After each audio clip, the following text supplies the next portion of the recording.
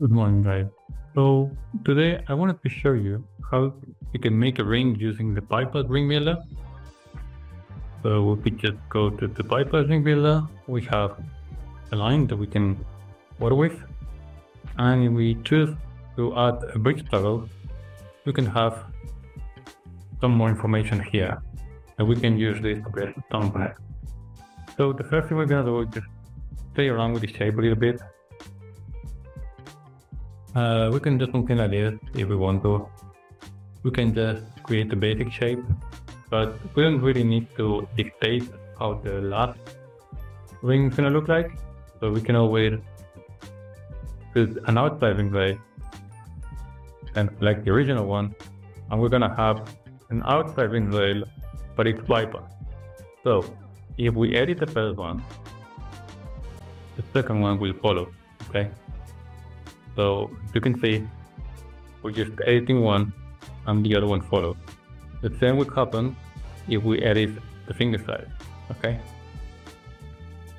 So with this information, what we can do now is add profile. So we can simply use profile data, choose an outer ring and this one. We choose this one. All we need to do is just change the projection, the placement method, okay? And if we do mirror, we're gonna have mirror in the other direction, okay? So if we change one end, the other one will follow, okay? So this allows us, if we change the profile with something like this, this other one is gonna change as well. So if we add another one here, for example, and we do add mirror, we're gonna have the other one on the other side. So we could do something like this, for example, I'm just making this up, but if for example I wanted to add third profile in here and make it slightly wider, I could have all my profiles here. So now if I go to tip the rail and just choose my profile, okay, as you can see now, I have a ring already finished. And something quite cool, I can go back to my first initial ring rail, the bypass one of course, and I can change it. Okay? So this is just an example. I can also edit the outside one and it's gonna change. And now I can play with this to generate geometry. And I can also grab my profile, do this one, and make it there.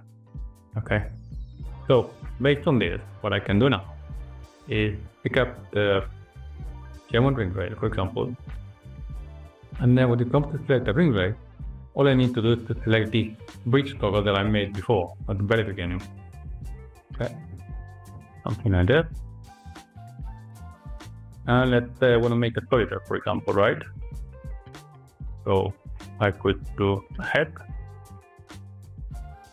And something that I could do, for example, is uh, make this angle a bit further in.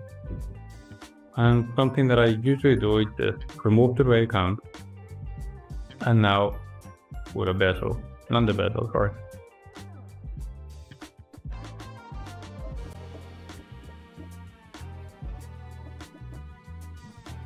Okay, so as you can see, now I made a head and I got a chunk in there. So now if, for example, I want to make the setting look a bit more paper, I very easily do that.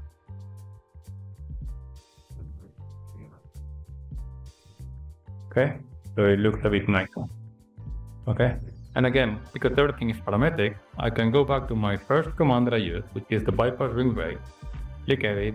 If I want to change the finger size, everything is going to be okay? I can change everything at any given time and everything will follow, okay?